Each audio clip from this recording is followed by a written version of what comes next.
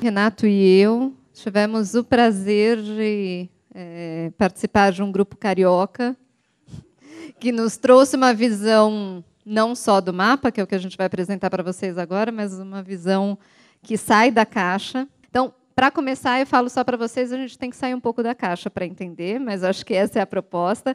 Primeiro, porque para fazer esse mapa, a gente começa é, com uma caracterização das principais áreas de estudo de consumo, para depois a gente entender geograficamente como é que a gente desenha o consumo na ESPM. Para a gente falar das áreas de estudo de consumo, nós criamos avatares. Cada avatar, como vocês estão vendo, tem o seu nome, claro, são personagens. Então, vou explicar rapidamente. O Rafa, ele é quem representa a área de marketing e comportamento do consumidor, que é uma área que está presente em diversos cursos na ESPM. E o Rafa, ele tem algumas características que a gente vai perceber que dialogam com esses cursos, é, como, por exemplo, uma visão de mercado, uma visão dessa preocupação em entender o comportamento no, dos consumidores. A Frida, que está abaixo do Rafa, ela representa a área de antropologia do consumo.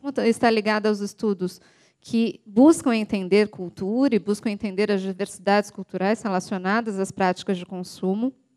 Ela também vai estar presente em diversos cursos, ela também habita diversos países do nosso é, do nosso planeta ESPM e a antropologia do consumo ela existe muitas vezes é isso que a gente vai entender em conjunto com outras áreas é, a Piri a Piri ela representa a área de comunicação e consumo. A gente imaginou ela uma blogueira. Assim, de alguma forma blogueira, é uma questão de representações. E a ideia da comunicação e consumo como uma área, de fato, que trabalha com essa questão das representações, que trabalha é, tanto a partir da produção e de como esse consumo está presente nos processos, nas estratégias de produção, mas também na própria recepção e nas apropriações do consumo.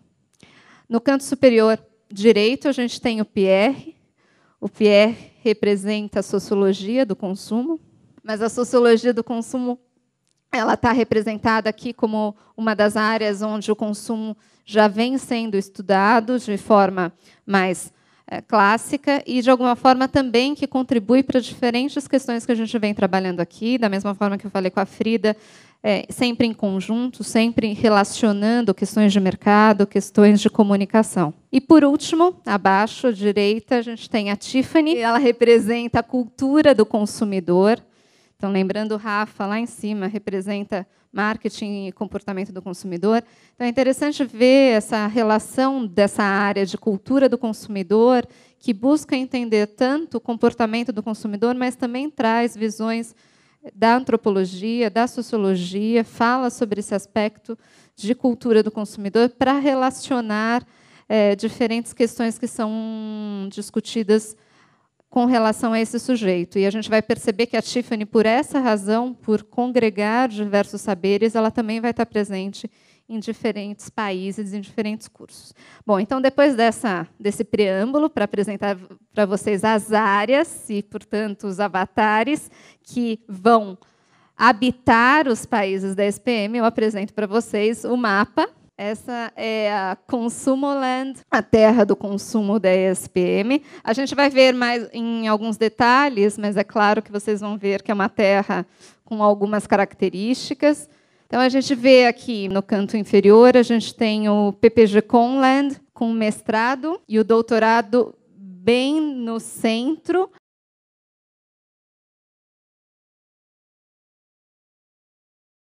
Está uma possibilidade de você atingir um patamar e vocês veem que ali tem uma flechinha lá em cima, que Páscoa, 500 quilômetros, a gente imaginou que o pós-doc, porque a SPM já tem pós-doc também nessa área, está em algum lugar. assim. A gente tem, como vocês veem, uma relação, a PPG com Land está ali, de alguma forma, relacionada com a Gradland, que é a terra da graduação, mas vejam que essa essa conexão não é exatamente uma conexão tão sólida. Existem alguns desafios ali no meio do caminho dessa trajetória desse percurso. E essa Gradland, como vocês veem, ela é muito vasta, é um território grande, é um território múltiplo que tem diferentes realidades. E essa graduação, ela tem diferentes núcleos, diferentes grupos, a gente vai ver depois um pouco mais especificamente, mas a gente colocou nessa relação com o PPG-Com, principalmente a área de educação e cultura, ciências sociais, e daí a gente indo para o norte da Gradland, a gente tem uma visão mais de gestão, pensamento e comportamento ali um monte. E essas áreas ao norte, elas estão tanto conectadas oeste, tô certa? Tô certa. Oeste, é. ao mestrado profissional, quanto a leste ao MBA Land. Então, de alguma forma, esse norte da Gradland aqui mais conecta com, essas, com esses dois outros países. Se a gente vai para oeste, no mestrado profissional, a gente percebe que existe uma divisão nesse país. Esse país está dividido em leste e oeste, e existe uma ponte entre as duas partes desse país. Então, na face leste do país do mestrado profissional está a área de comportamento do consumidor, e na face oeste está a área de inteligência de mercado. Eu vou então passar novamente pela Gradland para chegar na MBA Land. E daí a gente tem a área de psicologia e consumo, que também está relacionado com a área de pensamento e comportamento da graduação, a área de sentidos, design, que está um pouco abaixo, mas também conectada, tem uma área de economia comportamental e neurociência, que a gente colocou de forma mais distante, e consumer insights também, de alguma forma, presente, e daí a ideia de é, divulgação, de difusão desses saberes. Esqueci de falar de uma área importante da Gradland, que está dividida por um muro, que é de impacto social. De alguma forma, a gente percebe uma certa questão de dificuldade de transpor né, esses desafios e esse muro aí. Então, vou passar rapidamente por cada país para a gente ver os habitantes desses países, porque, como eu falei para vocês, aqueles avatares representam esses habitantes, ou seja, as áreas de estudo de consumo. A gente tem, então, o mestrado do Leste-Oeste, que é o mestrado profissional. Aqui a gente tem o destaque do mapa, então, né, desse país. Quem habita prioritariamente é o Rafa, que é da área de marketing e comportamento do consumidor, mas vocês vão ver também que os a Frida e a Tiffany habitam esse país, ou seja, tanto antropologia quanto cultura do consumidor também estão presentes nas discussões desse curso.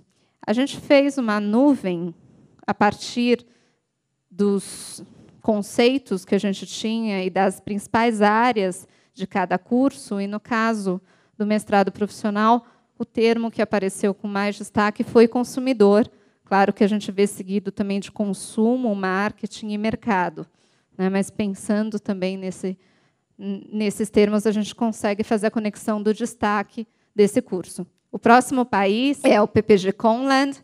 Então, a gente vê aqui, então, vocês veem a torre no meio do, né, do país. A Piri, que é a principal habitante desse país, que representa a área de comunicação e consumo, mas ao lado dela a gente vê o Pierre, da área de sociologia do consumo, que igualmente tem um peso nessa discussão sobre consumo, e também a Frida, na né, área de cultura, antropologia do consumo, também presente no programa. E a gente vê aqui que o destaque maior, de fato, do termo consumo, né, em seguida comunicação, a gente vê também questão de relações, produção, práticas que, de alguma forma, estão presentes na discussão sobre consumo desse programa. O próximo país, a gente tem a Gradland, que é a graduação, onde a gente tem principalmente a Frida, mas também a presença da Tiffany, como eu falei, a antropologia, mas também a cultura do consumidor, né, a figura de discussões sobre o consumidor. A gente aqui achou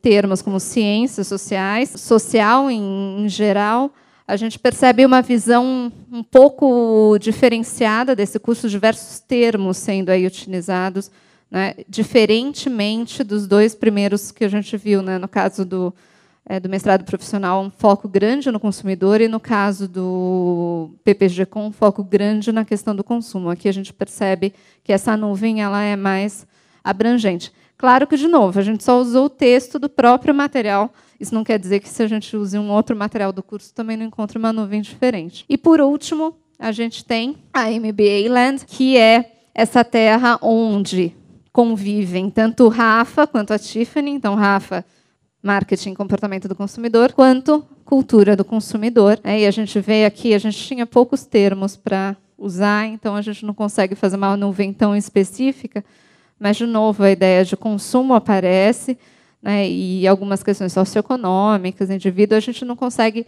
especificar, mas a gente também percebe nessa nuvem como tem diferentes áreas presentes né, nesse curso. Então a gente só espera que essa visão, que é uma visão mais iconográfica, seja uma inspiração para as discussões, né, e que seja de alguma forma uma tentativa de representação. É claro que haveriam milhares de representações e agradecer a todos. Obrigado. Eu tenho que dar as notas para os grupos agora. Tá com o Mário, por favor, deixa eu passar aqui. Grupo, grupo Lente, nota 10.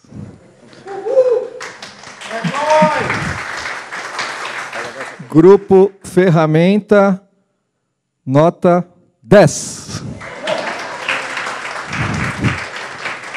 Grupo Conceito.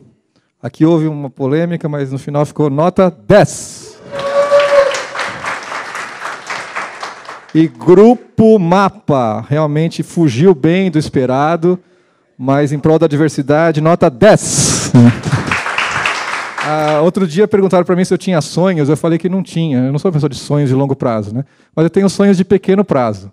Um sonho de pequeno prazo é o pensamento SPM, né? Primeira, segunda, terceira edição, e aos poucos parece que ele vai ganhando uma carinha interessante, e a gente deve levar todo esse conteúdo, né, especialmente a parte criativa, aquela interface mais bem-humorada, que eu acho bem importante para a gente conseguir uh, quebrar alguns muros e algumas fronteiras, né?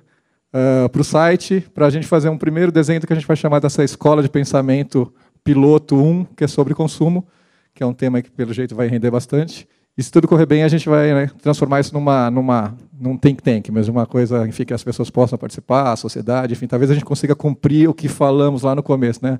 O conhecimento que transforma a sociedade. Né? Esse eu acho que é um outro sonho, esse de longuíssimo prazo. Então é isso. A gente agradece muitíssimo a presença de todos vocês, o trabalho, todo mundo trabalhou bastante. Os resultados foram excelentes. Faltou só a musiquinha do Game of Thrones para ficar perfeito ali. Mas aí a gente não tem os direitos autorais, né? E muito obrigado para vocês. Sem vocês não haveria o evento.